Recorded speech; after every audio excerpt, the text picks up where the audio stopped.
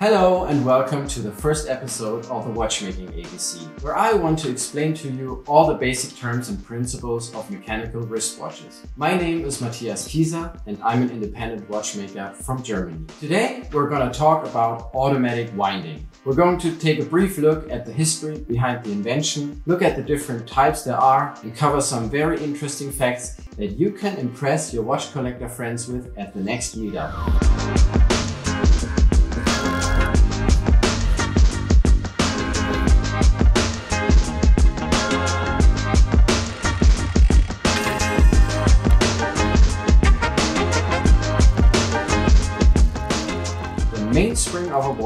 Where the energy for powering the gear train is stored, needs to be wound. In a manual watch, this is done by turning the crown. Here we have an example of a manual watch movement, which is used in both pocket and wrist watches. Under this wheel, which is called the ratchet wheel, sits the barrel. In the barrel, the mainspring is coiled up. The ratchet wheel is connected to the winding mechanism, and if you turn the crown, the mainspring is loaded. If you forget to rewind the watch from time to time, it will stop. Watchmakers tried to take on the problem very early on when there were only pocket watches around. The problem was that the winding crown hadn't been a thing yet with the first pocket watches, and in order to wind your watch, you had to use a key, and such a small key could easily get lost. Furthermore, you had to have a hole in the case of the watch, which caused dust to enter into the movement. Therefore, Abraham Louis Perrelet, a Swiss watchmaker, invented the first self-winding pocket watch in the 1770s. He used to be an apprentice at the workshop of famous watchmaker Breguet. The construction of that watch was astonishingly close to what an automatic watch looks like today.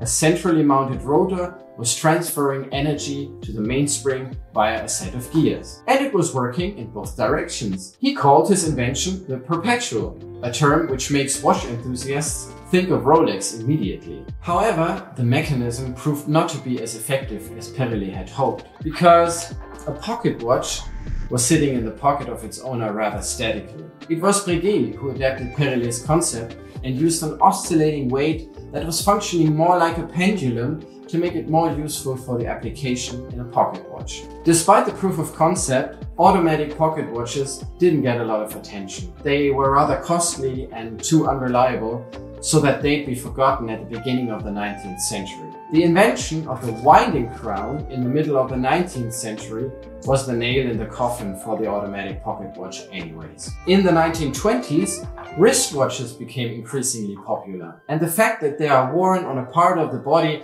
that makes a lot of movement brought the concept back into the discussion. Léon Leroy from Paris started to build wristwatches with a pendulum weight, but the big breakthrough didn't really happen. The watches were mostly women's watches and a few unique pieces for the collector Sir David Salomons. Another name worth mentioning in the early efforts to make automatic wristwatches is John Harwood. He developed an automatic caliber which was produced by the famous Adolf Schild SR, sold by Fortis and Blancpain. But frankly, the movement wasn't particularly good. It had too many screws and a tiny power reserve of only 12 hours. When the global economic crisis struck, the whole project was scrapped in 1931. In the same year, another very renowned figure in the industry was also experimenting with the automatic mechanism. Hans Wilsdorf, founder of Rolex and his head of engineering, Emil Borer, wanted to introduce an automatic watch. It wasn't by chance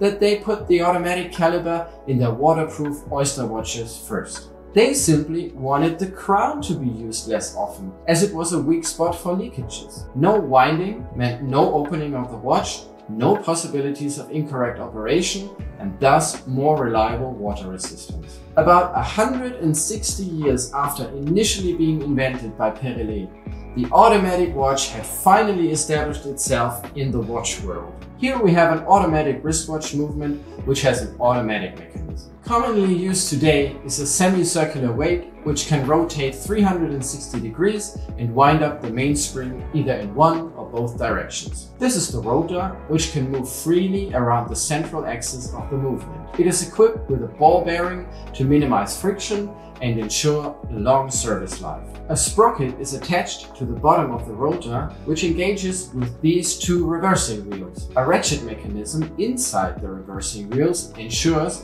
that the two-sided rotation of the rotor is only transmitted in one direction. This is why this is a bidirectional winding rotor. On the other side of the bridge, the rotation is then translated from fast to slow. The rotation of the small rotor generates less force per revolution than can be applied by hand via the crown, of course. The rotor must therefore turn more often to provide the same amount of energy. This happens via these gears. The last gear engages with the ratchet wheel, which sits on the mainspring barrel. A slipping clutch prevents the spring being wound too far, causing permanent damage. But the history of the automatic wristwatch is rich in a wide variety of alternative inventions and developments. Manufacturers who wanted to build automatic watches but couldn't infringe existing patents had to be rather creative. One example is Pierce's automatic mechanism with a linear oscillating rate. A similar design is used in the Tag Heuer V4 or the Hublot MP10. So not everything that's sold as brand new development is actually that innovative. Another interesting example is the Hammer Automatic that I can show you here. The weight doesn't turn a full 360 degrees, but rather oscillates between two springs which dampen the impact. This caliber is from an old Esca watch. Another example for this design is the Alpina 584. One of the disadvantages of the automatic mechanism is that it adds height to the caliber, as you need a rotor and a set of gears. One solution for that was the invention of the micro rotor. The rotor no longer sits on top of the movement, but is integrated into the plane of the movement. Universal was certain to be the inventor of the concept and patented it in 1957. However, Buren Watch Company were a little quicker and had filed for their patent 11 months earlier. End of story? Universal had to pay 4 Swiss francs to Buren for every movement they made.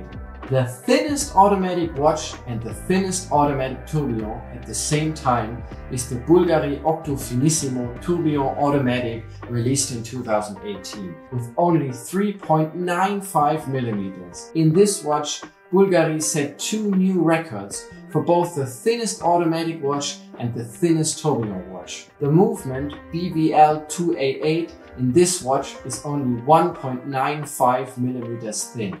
To sum it all up, the automatic winding mechanism is super interesting from both a technical and historical point of view. For you as the wearer, it gives you the convenience of not having to wind up your watch regularly.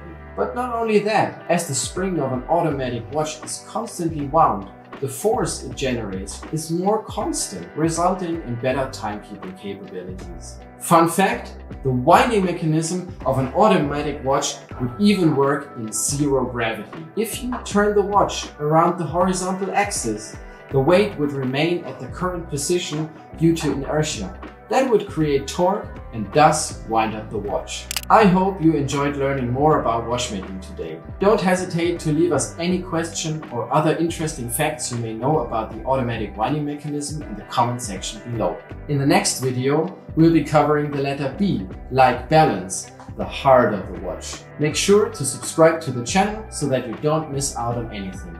See you in the next one.